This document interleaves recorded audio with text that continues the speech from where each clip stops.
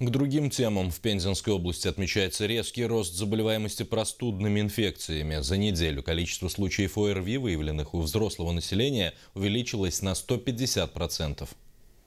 Эпидситуация в регионе ухудшилась. За прошедшую неделю зарегистрировано 4617 случаев ОРВИ, в городе Пензе 2439. А, эпидпороги по заболеваемости значительно превышены. По региону на 80%, по городу Пензе на 85%. Наиболее высокий уровень заболеваемости регистрировался в Макшанском, Лопатинском районе и городе Кузнецке. По сравнению с аналогичным периодом прошлого года число выявленных случаев простудных заболеваний выросло на 25%. В качестве профилактической меры врачи рекомендуют не медлить с вакцинацией от гриппа.